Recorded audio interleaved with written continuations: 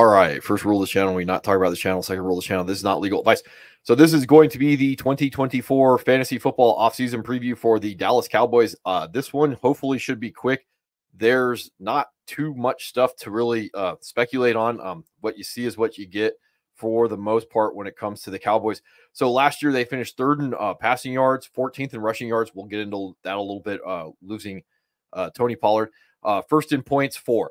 So uh, the biggest thing is always remember uh, in fantasy, I am not drafting uh, last year's production. I am drafting this year's ranges of outcomes.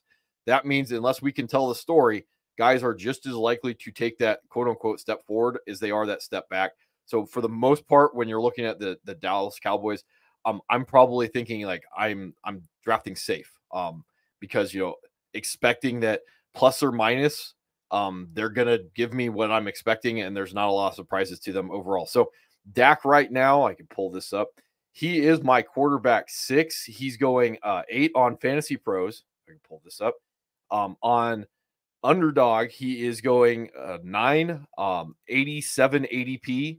Um, Fantasy Pros, he's quarterback eight, 62 overall. I think that's relatively in, in line with him.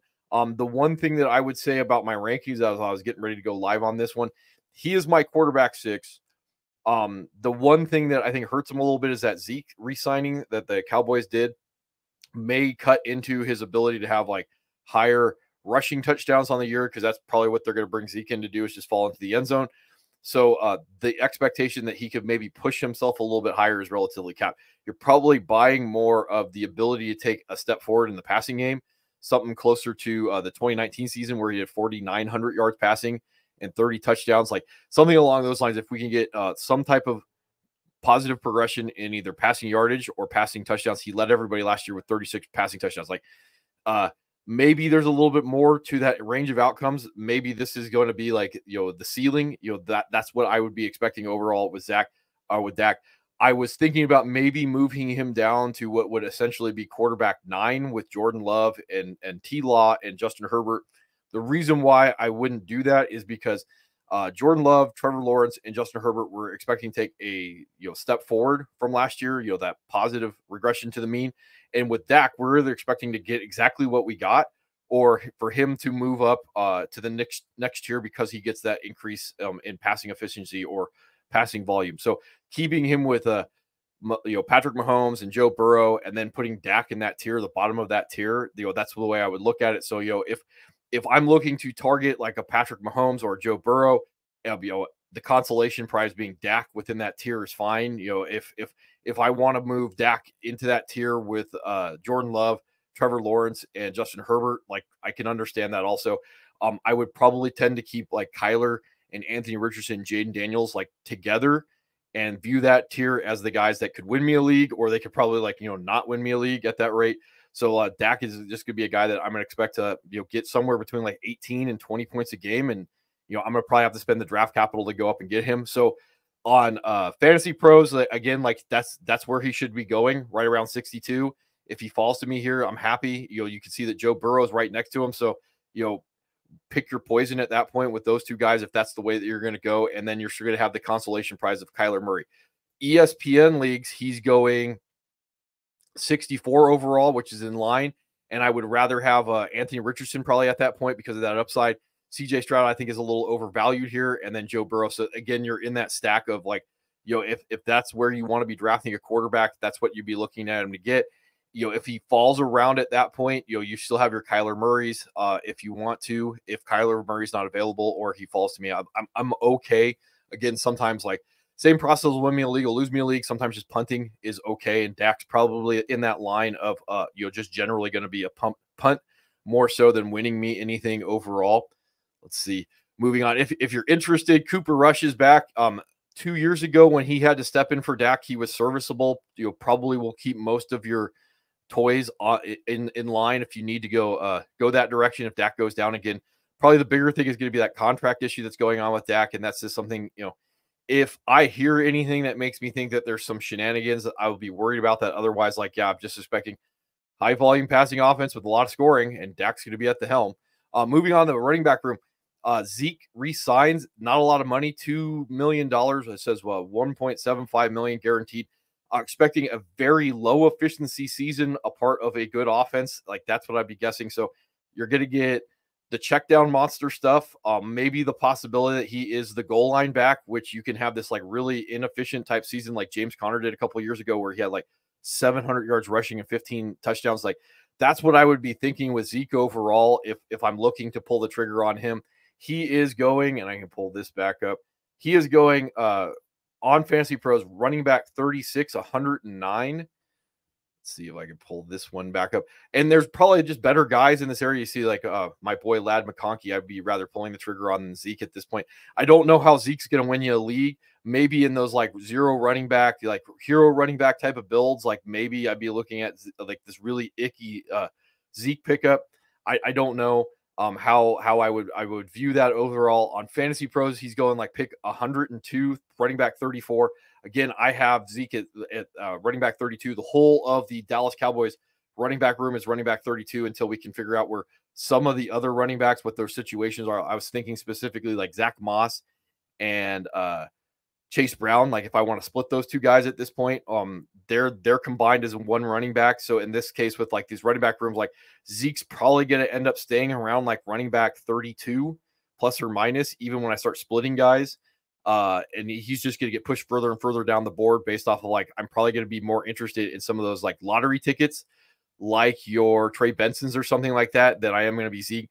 The other guy that I you know I don't know why if I'm trying to win a league, I don't know why exactly I'd be going after Zeke when you have uh, on ESPN, where's it Blake Corum?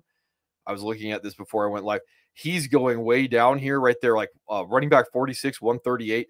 I would imagine Blake Corum has a chance with the split backfield to put up more points than Zeke because Zeke's going to be very inefficient at this point. So, like, again, I don't know how he gets you there. Um, Rico Dowdle is going uh, 169, running back 53 on ESPN. Fantasy Pros, he is going uh, 144, running back 46. And then on my underdog shares, he's going 141, running back 43. So if there's a guy that I'm throwing that lottery ticket at when it comes to the uh, Cowboys, it's going to be Rico Dowdle. So last year he was a little bit more efficient in his limited work. Um, he was kind of splitting a little bit of time with Tony Pollard at certain points in the season. I don't love him, but they were also getting him design passing work. So the two things that we want, like he may get uh, a little of both. You know, some of the red zone work, a little bit of the design passing work. The bigger issue with all these running backs is if uh, Deuce Deuce Vaughn comes back and he is the guy that they are using in the design passing work, it's going to entirely destroy all the running backs having an ability to really like win you anything. Um, and that's what I would be looking at. We're running back by committee, and then you still have like Royce Freeman that they brought in, another like trustworthy guy. He spent some time with the Rams last year uh, when Kyren Williams went down. So if if all four of these guys make the roster, um, I I would probably even move the entirety of this backfield down further once I start uh, start splitting backfields because I don't know how any of them win me a league uh, other than like hoping I get Zeke falling in the end zone, um, or maybe Rico Dowdle's the lead back and the other guys have like specific roles.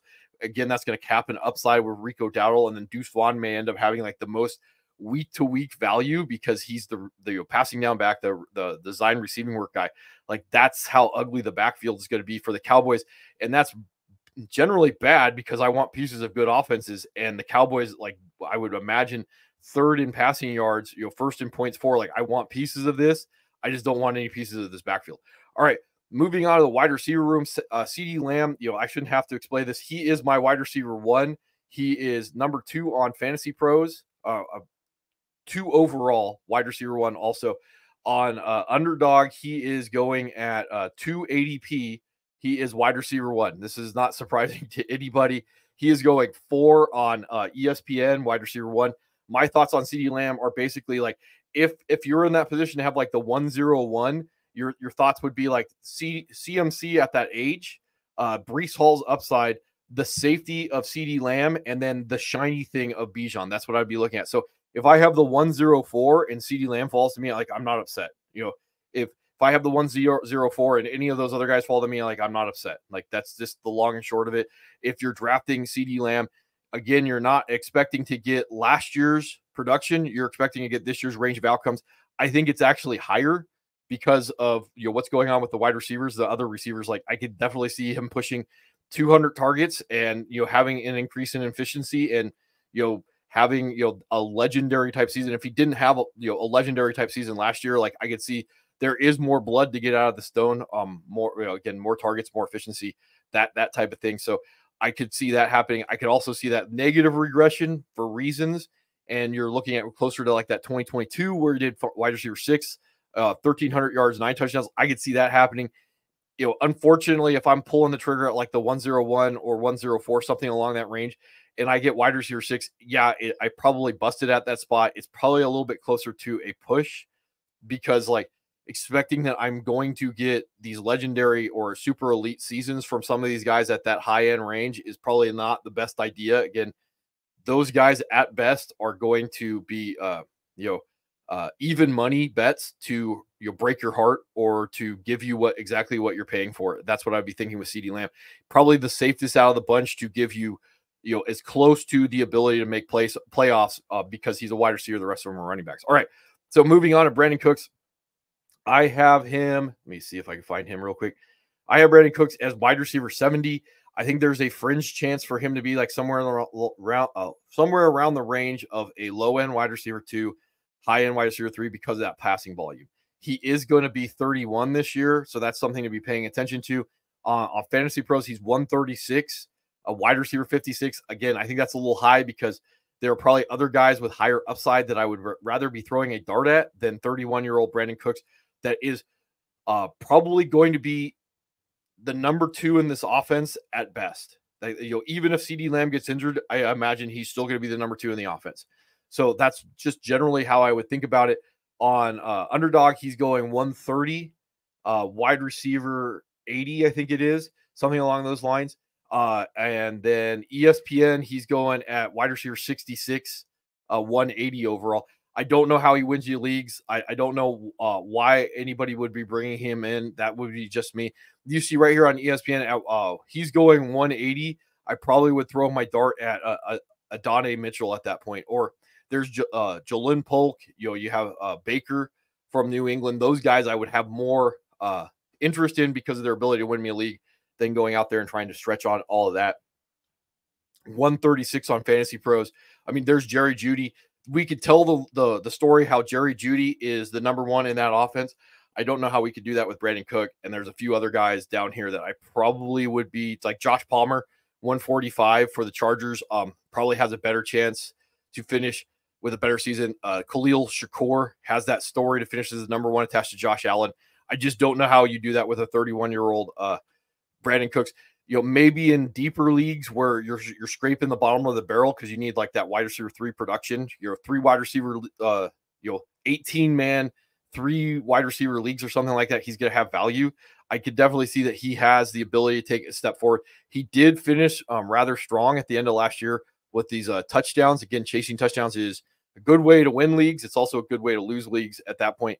Um, moving on, Jalen Tolbert, he's the guy that I bet is going to be the other outside wide receiver. I can see that Brandin Cooks is going to play like the Z.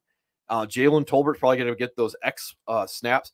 Uh, CeeDee Lamb plays a lot out of the, uh, the slot. So these other two guys are going to allow him to move in there and do most of his damage. So, like on paper, Jalen Tol- Tolbert's going to be the number three, but I could definitely see, like, in real life, or excuse me, on paper, I could see he's going to be the number two, but in real life, he's going to be the number three. And then uh, Ryan Flournoy is the sixth round draft pick from uh, Southeast Missouri State. I don't know anything about him. The only reason why I bring this up is I could definitely see that there is a uh, vacated opportunity for a wide receiver in Dallas. And normally a six round pick I don't care about. But I looked at the rest of the wide receiver room, and if it ain't Jalen Tolbert, like he's got as good a shot as anybody in this offense. But you know, expecting that we can get uh, somewhere between 160 and 200 targets for CeeDee Lamb. I don't know if any of these guys matter. All right. So moving on to the tight end room to finish this off, I think we're going at a pretty good clip right now. Uh, Jake Ferguson, I have him at tight end 10 on uh, Fantasy Pros. He's going at tight end 10, 100 overall. I think that's a steal. Uh, on Fantasy Pro, or excuse me, on Underdog, he's going tight end 9, 85 ADP. I think that's a little bit better. And then on ESPN, if I bring this up real quick, he is going as uh, tight end 87, tight end 9, or excuse me, 87 overall, tight end 9. I think that is uh, better. What my thoughts are on the tight end position in general are uh, he's either ridiculously undervalued, and at this point, like he may end up being my number two tight end on my my list that I will do at the end of the year because of that value. On ESPN leagues, if Kyle Pitts is going underneath Jake Ferguson, I will probably be looking at Kyle Pitts. That's that's a little retarded to me overall, but you know, hey, that's what people do. And then uh, hundred on uh fantasy pros, Jake Ferguson, like in this range, like I'm uh, that's a pretty easy smash to me uh, overall. So yeah, that's what I would be thinking. And then with him going there, I would I would imagine that the tight end position over the summer is going to have to compress because like again, if you're looking at a guy that probably has, uh, and I would put my mean on Jake Ferguson as being the number two in the offense to be around like 900 yards. I pulled this one up to be about 900 yards and seven touchdowns. So last year he did uh, when he finishes tight end eight, he did 100 targets, 71 receptions, 761 yards, and five touchdowns. It led all tight ends in red zone targets. So, me expecting that he's going to get two more uh, receiving touchdowns and about like 140 receiving yards over the course of the year, where he's probably going to be acting as the number two in the offense. Like, that's what I would be expecting with him. He's going at tight end 10. I think there are guys that have higher over underlines, I guess you could put it at like higher ranges of outcome ceilings that's the word I'm looking for than Jake Ferguson. But at the cost it's going to get me to have a guy that's probably going to give or buy me a few weeks from the tight end position. Like I really like this. There's only going to be a few guys, and I can bring up my rankings so I could talk about this. There's only going to be a few guys um, from the tight end position that are going to have the ability to be even the number two in their offense, and that's what Trey or Jake Ferguson is going to be at a tight end ten. I do have Kittle above him. There are a few other guys that like I'm less interested in, but I have to put them there, like Evan Engram, even like David Njoku, who I would have over Ferguson. I think Ferguson is, you know, he's one of those guys that uh, if I'm pulling the trigger on him, I know I got a good safe pick. It's a punt with some upside. That's what I really like in fantasy if I can do that at their cost. Um, the only other thing to kind of talk about this is Luke Schoonmaker. He is the 2023 second round pick for the Cowboys. So Jake Ferguson's like a 4'7, 740 guy. Like Luke Schoonmaker is a 4'6, 140 guy. He's a tight end out of Michigan. So I mean, he you know he's a he's a run blocker with good athletic measurables. Um, dynasty wise, yeah, I, I'm I'm I'm stashing Luke Schoonmaker. Uh, third year breakouts coming up in a, in a year. I, I can imagine with the draft capital they put in the Schoonmaker, like they could let Jake Ferguson walk if they want to. Um, that would be what my thought process would be with Schoonmaker. The other thing is because of the lack of uh, wide receiver depths, I could definitely see that the Cowboys are at a lot of two tight end sets. Schoonmaker is likely not going to be uh you know fantasy relevant this year. I could see a way that the Cowboys in a lot of two tight end sets. We have seen you know teams be able to support two tight ends. The bigger issue that I would bring up with Luke Schoonmaker is um my over underline on Luke Ferguson or Jake Ferguson being 900 yards, seven touchdowns may actually be a little high because if they're basically going to turn the tight end position into uh you know a running back by committee like a split a split room and these guys are splitting it like I'm expecting it was going to go on with the Packers that would drop the overall over underline of Tony Fer- or Jake Ferguson and um allow Luke Schoonmaker to eat into him a little bit more. That would be my probably my biggest problem. So if I if I start hearing about like how much you know the hype train on Luke Fer- uh, Luke Schoonmaker is going to be for the Cowboys, that may end up affecting Jake Ferguson, even though I think he's going to be really special being the number two uh, option attached to a high volume passing offense this year.